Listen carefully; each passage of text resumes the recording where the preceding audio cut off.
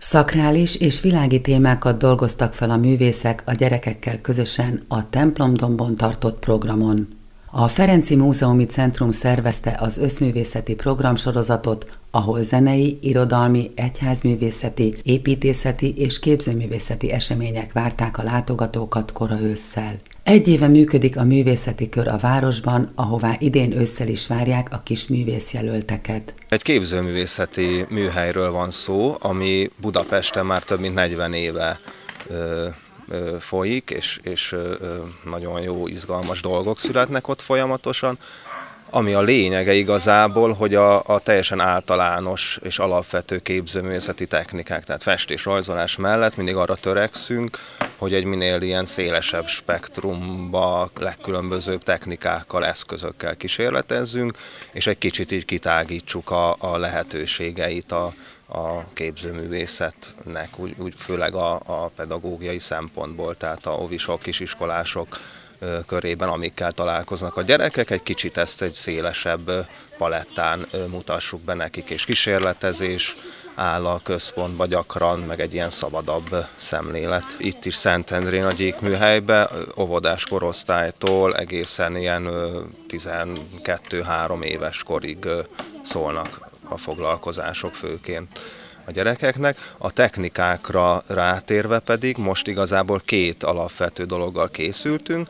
Az egyik az egy ilyen gipsz, gipsz központú történet, hogy vannak ilyen kis ott látható gipsz táblák, amik ilyen kék festékkel bekevert gipsz, ami akkor úgy szárad meg, és ezt majd le fogják festeni aranyszínnel a gyerekek, és ebbe karcolunk bele, és ugye, hogyha belekarcolsz, akkor egyből az arany alatt megjelenik a kék szín, tehát a eredeti színe ennek a kis táblának, és akkor így ebbe a, ugyanúgy ebbe az égi témába, tehát hogy minden, ami az éghez köthető, angyaloktól kezdve bár, bármi eszünkbe jut, azokat jelenítjük meg, és ezek akár ilyen ikontöredékekre is hasonlíthatnak, vagy egyéni kis ilyen ég képregényektől kezdve bármilyen személyesebb témájú képek.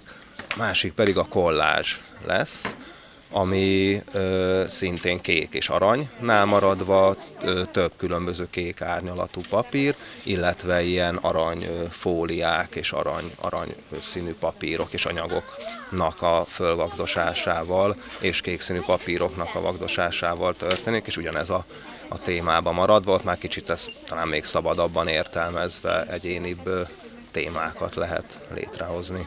A kék és aranyszínek domináltak az alkotásokban, amik visszaidézték az ikonok világát, az eget. Több technikát megismerhettek az érdeklődők, akik a festés karcolás mellett kollásképeket is készíthettek. Ez egy nagyon jó lehetőség így az együttműködésre, meg arra, hogy Szentendrével, meg a, alapvetően akár a itt a, a, a templomokra fókuszálva is ezzel a, a, a közeggel, akiket ez jobban megmozgak, velük is egy kapcsolatot jobban fölvegyünk, és ezzel a, a gyíkműhelyt is egy kicsit szervesebb részévé tegyük a, a Szentendrei hétköznapoknak.